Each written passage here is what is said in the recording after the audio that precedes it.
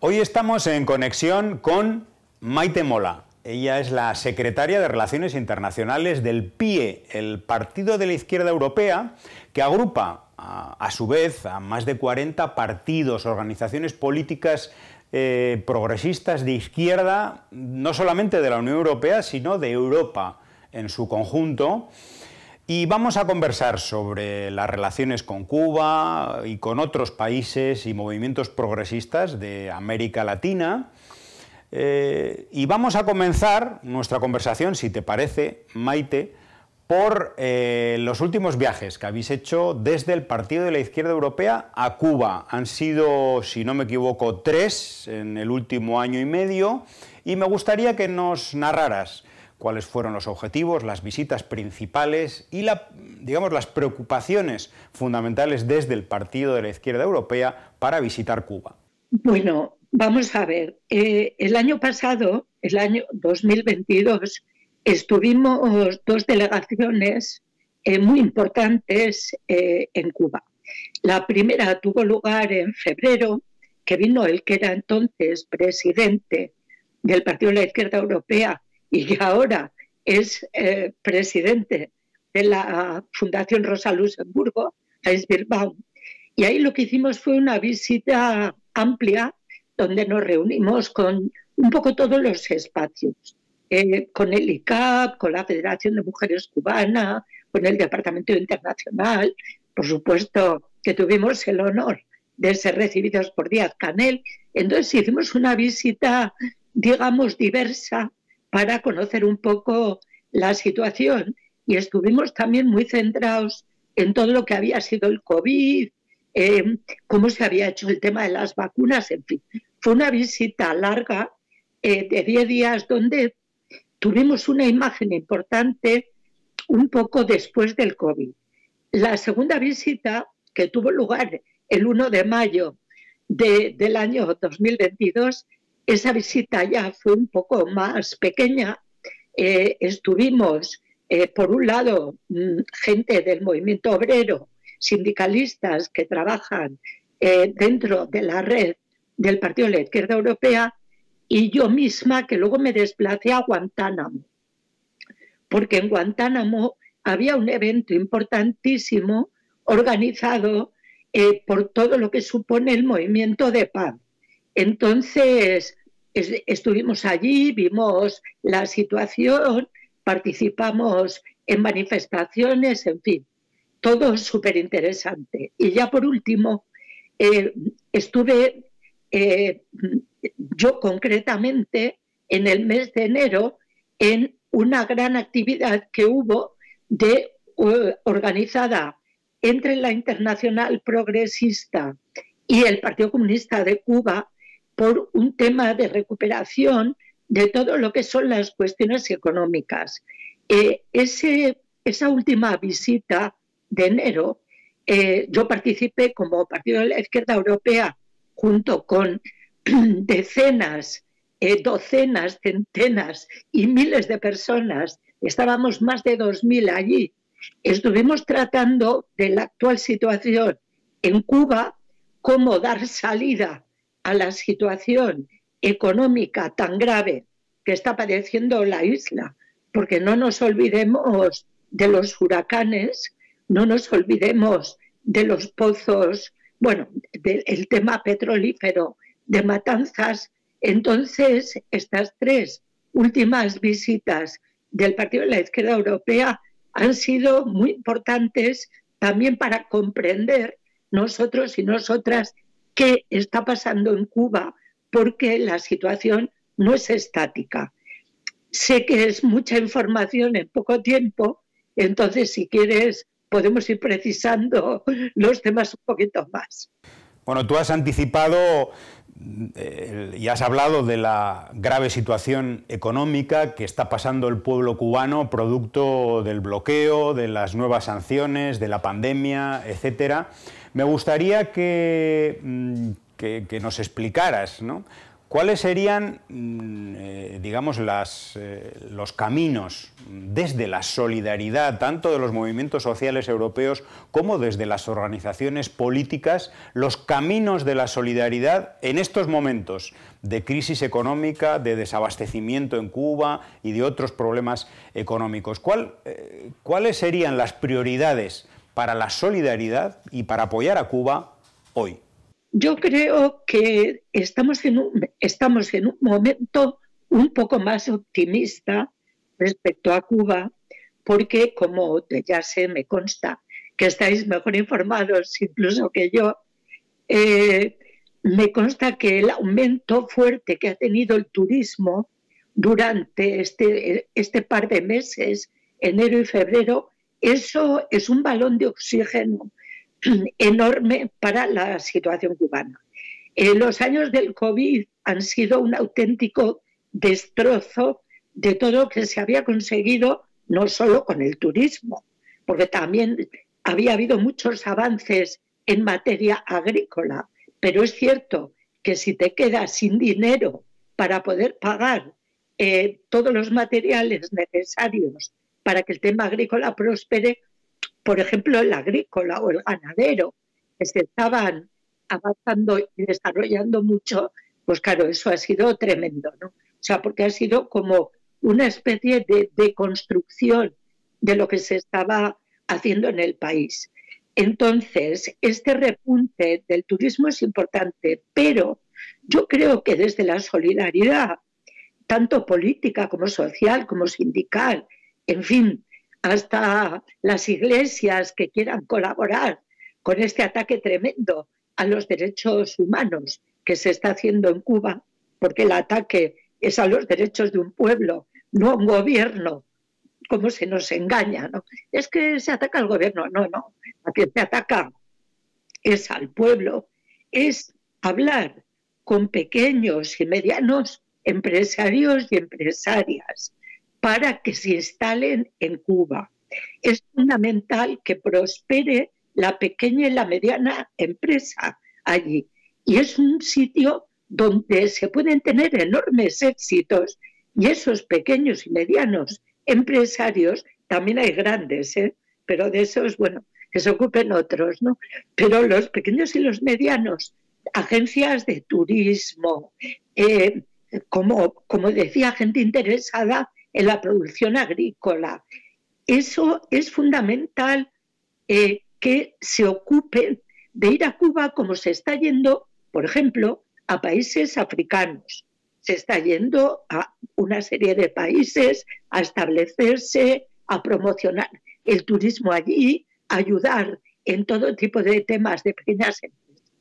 Yo creo que ese objetivo, que yo sé eh, y supongo que compartes, que es más a medio plazo, debe ser, eh, debemos tenerlo en nuestras cabezas, porque desde la solidaridad internacional tenemos una cierta tendencia, y disculpadme por lo que digo, pues a recoger eh, productos farmacéuticos para enviar, que hay que seguir haciéndolo, a recoger eh, dinero para invertir en no sé qué, que hay que seguir haciéndolo. Apoyar eh, con libros, con, con ropa, con materiales de cualquier tipo para guaguas, que hay que seguir haciéndolo, pero tenemos que ir más allá.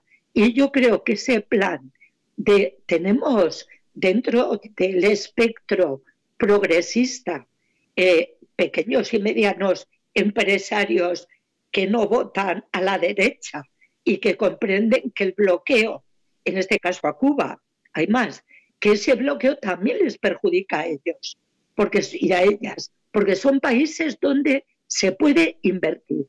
Por tanto, creo que tenemos que ampliar la mirada de la solidaridad hacia esos hacia esas vertientes y además me consta que para Cuba sería muy importante porque las visitas que haces a barrios, en las visitas que haces a colectivos, no digo eh, departamentos del gobierno y no sé qué, sino a la gente más básica y, por supuesto, que al sindicato es donde más se están insistiendo que tenemos que intentar que se invierta dinero en Cuba porque luego además va a revertir en esas empresas. O sea, no es caridad, no es solo solidaridad, sino, perdón por lo que digo, son negocios que hay que hacer y que, que mejor para la gente como nosotros que dirigirnos hacia países bloqueados como Cuba. Una de las mm, estrategias o tácticas, mejor dicho, dentro de la, de la guerra de Estados Unidos contra Cuba es la inclusión eh, año tras año de Cuba en la lista de países que patrocinan el terrorismo, esa lista del gobierno de Estados Unidos que implica eh, mucho más que una condena simbólica como país supuestamente terrorista, eh, sino que implica bueno, sanciones financieras, bloqueo financiero, eh, tiene consecuencias comerciales para Cuba, es decir, es una vuelta más en el bloqueo. Me gustaría bueno, que nos hicieras un análisis sobre este asunto. Bueno, yo quisiera empezar diciendo que quien entró por la bahía de Cochinos, yo digo en broma que fue un famoso republicano que se llamaba John Fitzgerald Kennedy. La gente me corrige, me dice que no era republicano, Maite, que era un demócrata. Yo me río y digo, ya, ya sé que era un demócrata. O sea, que es que son eh, lobos disfrazados de cordero. Mientras que Biden y otros, ahí podemos a Obama poner un pequeño paréntesis, pequeño, ¿eh? no grande. Pero Mientras que en la campaña electoral Biden contó una cosa, ahora está haciendo con el tema de Cuba estrictamente la contraria.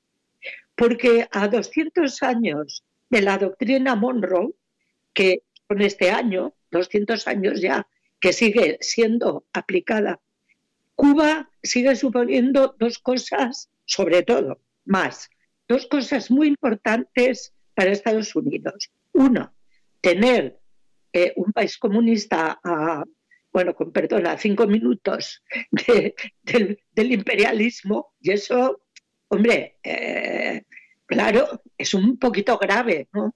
Porque demuestra que el imperialismo, eh, cuyo representante mundial, fijaos la reunión del AUKUS, ¿no? Que está habiendo ahora, ¿no? es Estados Unidos, es el prototipo del imperialismo, eso supone un fracaso tremendo, porque no han sido capaces de ninguna manera de acabar pues con un pueblo que toma sus decisiones, sea que quiere ser un país comunista o lo que sea, pero con un pueblo que no se deja imponer las decisiones por su vecino más próximo. Entonces, eh, eso por un lado, y por otro lado, pues hombre, todo, si todas conocemos lo que pasa en Miami y la importancia que tiene, eh, digamos, la contra cubana instalada allí, y me refiero a importancia económica. Y en Estados Unidos esa es la importancia fundamental.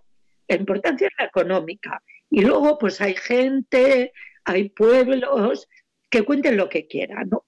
Por tanto, esos dos factores hacen que un gobierno demócrata se quite de encima todos los problemas internacionales y se centre en intentar, con bastante poco éxito, de momento, digamos, mejorar la vida de los y las estadounidenses. Entonces, yo me quito Cuba de en medio, yo me quito de en medio todo, que me dejen en paz. Entonces, que siga siendo país terrorista, a mí que me importa, y me centro con intentar eh, que la salud, la sanidad vaya un poco mejor, la educación un poco mejor. O sea, los demócratas, eh, los gobiernos demócratas sí que intentan mejorar, digamos, la vida estrictamente de los suyos en base a empeorar la vida de todos los demás. Y además centrándose sobre todo, pues obviamente en América Latina en general y en el Caribe en particular, no solamente en Cuba, sino hay que ver el tema de Haití, que todavía para Por tanto, Cuba, país terrorista, y a ellos que les importa meter a Cuba como un país terrorista. Se quitan de medio problemas con, con Miami, con otras cosas, y que siga siendo un país terrorista, porque les da igual lo que pase en Cuba. Al contrario, cuanto, es la gente de cuanto peor, mejor para ellos. Pero quiero añadir una última cosa, y es que no hay derecho a que Estados Unidos decida, junto con sus secuaces más directos, entre los que desde luego incluyo a la Unión Europea, quién es un partido, quién es, perdón, un país terrorista y quién no. Eso es una cosa gravísima que se debería corregir. ¿Quién decide que un país es terrorista? Desde luego, tal y como está ahora el derecho internacional, eso va radicalmente en contra del derecho internacional, que se puedan tomar las decisiones así.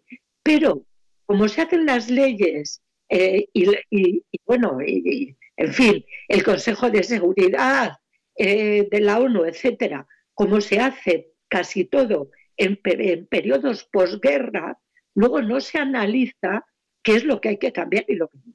Yo creo que lo que deberíamos de hacer los países que estamos en contra, no de que se haga eso con Cuba, sino de que mañana se puede hacer con España o se puede hacer con otro país. Igual resulta que no les gusta el gobierno español y nos declaran, es que no somos conscientes de eso.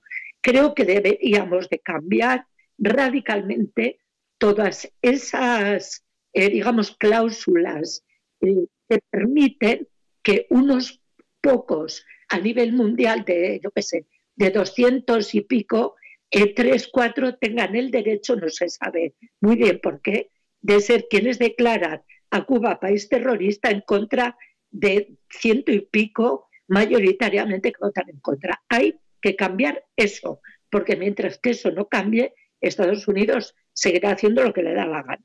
Maite, eh, bueno, hemos oído, mm, aunque no es algo que, esté absolutamente confirmado mm, ni organizado, pero hemos oído que eh, a final de este año va a haber un evento importante en Bruselas en contra del bloqueo a Cuba desde la solidaridad, un evento en el que el Partido de la Izquierda Europea mm, será un actor, uno de los actores importantes en, su organización. Me gustaría que nos hablaras de, qué, es lo que, qué es lo que se está preparando, vamos a decir, eh, desde Bruselas, desde Europa, en torno a la solidaridad con Cuba y en contra del bloqueo a la isla.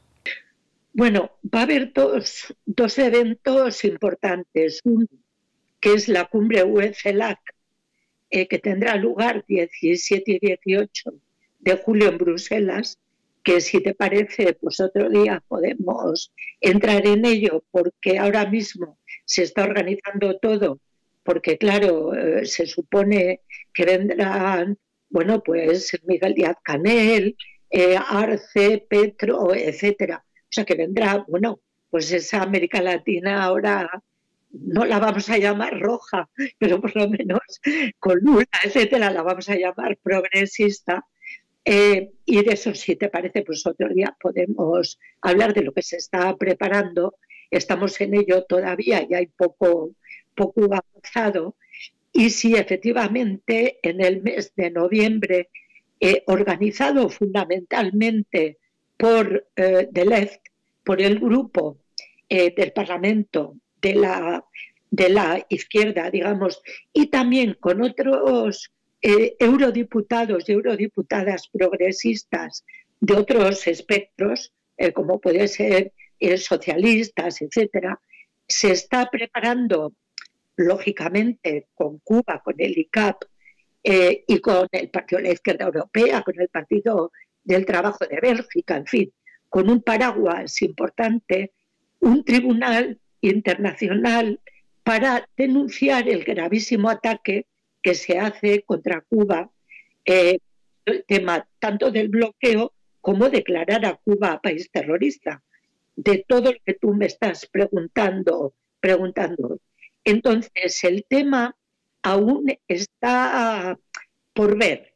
Eh, cuando me refiero a por ver, es que ya tenemos una unas fechas aproximadas, que serían medios de noviembre, porque ese evento, que como digo, sobre todo se está organizando por la parte progresista y de izquierda, también con verdes del Parlamento Europeo, eh, sería organizar allí, en ese ámbito, ese tribunal.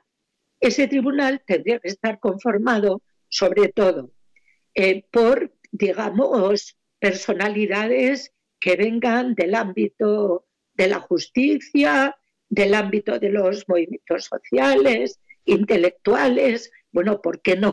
Políticos, etcétera, pero sobre todo tiene que ser algo mucho más protagonizado por la sociedad civil, porque es un tribunal, es un tribunal de derechos humanos. Por tanto, hay que hacer un trabajo fuerte eh, que, como te digo, estamos eh, no comenzando, porque ya llevamos varios meses trabajando en ello, y sí que es muy importante también trabajar en el ámbito de la calle, porque si esto se realiza en Bruselas, por supuesto que el Parlamento Europeo tiene eh, una importancia fundamental, porque todos sabemos el papel de la Unión Europea eh, mayoritariamente contra Cuba. Y además tenemos a Hermann Hertz allí de, principal protagonista de atacar a Cuba eh, por cualquier cosa, le da igual, se inventan algo, algo se les ocurre para meter a Cuba siempre de por medio. Creo que conoces mucho mejor incluso que yo que lo que está haciendo esta gente aplicando la OFAR a todos los niveles. Entonces, hacer un evento en el Parlamento es muy simbólico, porque es simbólico como cuando se hizo el evento en noviembre de 2022 contra el bloqueo es muy simbólico de que se vea que la Unión Europea está a favor del bloqueo y en contra de los derechos humanos en Cuba, eh, sino que es todo lo contrario. Por tanto, ese tribunal, yo sí que creo que una vez que esté más trabajado el tema, sería muy importante que todos y todas los que estáis en medios de comunicación habléis pues con con la gente de ELEF, con la gente de, los movimientos sociales muy importantes de apoyo a Cuba que hay en Bélgica, porque además de en el Parlamento hay que hacer cosas fuera. No basta con hacer un evento en el Parlamento que sé, es central, porque además la imagen, repito, es importantísima, de que no todo el Parlamento Europeo piensa lo mismo, sino que hay que hacer cosas en la calle para que la gente que trabaja en la solidaridad europea y belga, pues también participe y se vea que Cuba no está sola, que estamos contra el bloqueo, que estamos a favor de los derechos humanos y que la ONU fundamentalmente y todo lo que eso implica, hay que empezar a reflexionar, como decía antes, cambiar muchas cosas para de una vez que dejen a Cuba en paz y a todos los países bloqueados y sancionados. América Latina está teniendo algunos cambios políticos en las formaciones de gobierno en los últimos dos, tres años. Parece que hay un, bueno, pues una vuelta a gobiernos progresistas, de izquierda, centroizquierda, eh, en, un, escenario en el que Cuba pues, estaría más arropada eh, políticamente. Eh, te pido un análisis de situación, de coyuntura, cómo estás viendo esta vuelta a, un ciclo progresista, ¿no? si se le puede llamar así.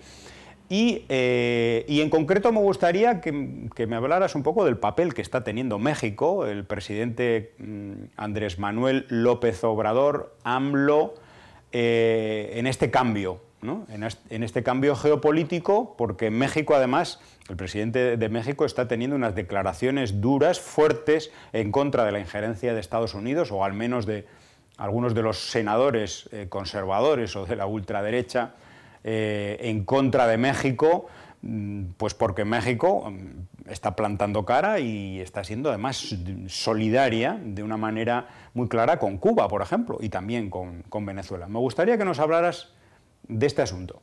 Bueno, pues sí, muy brevemente, porque eso también da para, para mucho. Hombre, quiero empezar diciendo que López Obrador eh, desde que llegó por fin a la presidencia de México. Yo he estado cuatro o cinco veces desde que él está de presidente y no me pierdo ninguna de sus mañanitas. Eh, pongo la televisión, me cuesta, ¿eh? a las siete de la mañana ya estoy viéndola, porque no solo es un gran comunicador, sino que sí que es un gran internacionalista.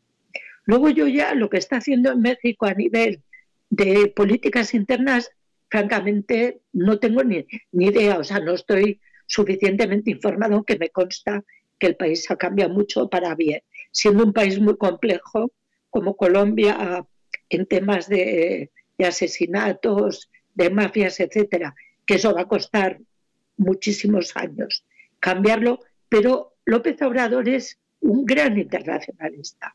Desde el minuto cero ha estado pidiendo respeto para Cuba, para Venezuela, ha estado ayudando a, bueno, a la gente que tuvo que salir corriendo de Ecuador después de lo que pasó ya al principio con Lenin Moreno y seguidamente con Lasso.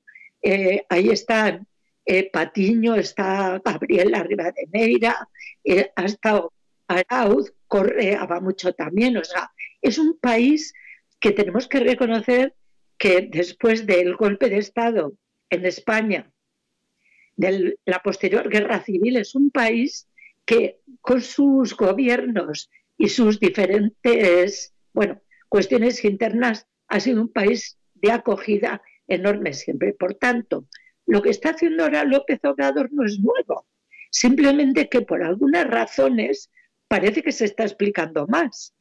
Eh, no sé yo si hay intenciones de intentar cambiar algo por parte del imperio y están poniendo más las intervenciones que hace, que hace AMLO, como se le llama cariñosamente en México y fuera, pero repito que lo que está haciendo él no es nuevo él ha estado defendiendo una posición internacionalista y de respeto desde el primer momento. Esto sí que lo quiero destacar porque esa figura de AMLO no solamente ha sido importante en México, sino muy importante en el conjunto, digamos, de las dos Américas, del continente americano en su conjunto.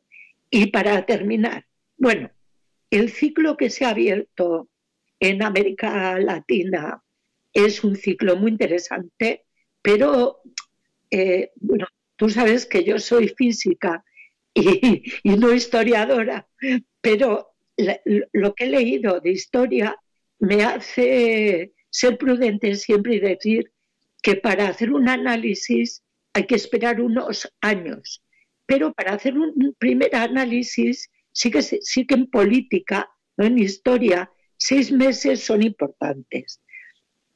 Lula todavía lleva poco tiempo, lleva menos de tres meses emocionantes, sobre todo la toma de posesión, muy emocionantes, pero poco tiempo.